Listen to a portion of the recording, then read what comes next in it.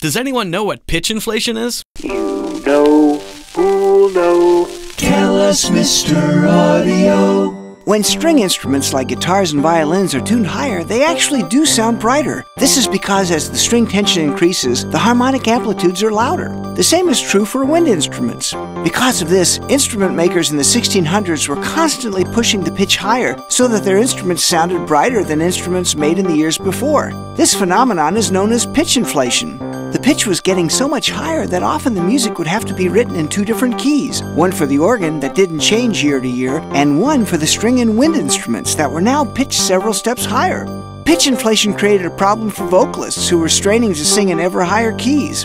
Because of this, the French government in 1859 actually passed a law requiring that the A above middle C be set to 435 cycles per second, thus ending pitch inflation, at least in France.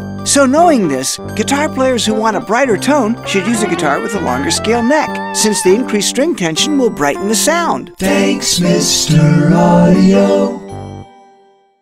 For more interesting facts about sound, visit Mr. Audio at soundimages.com.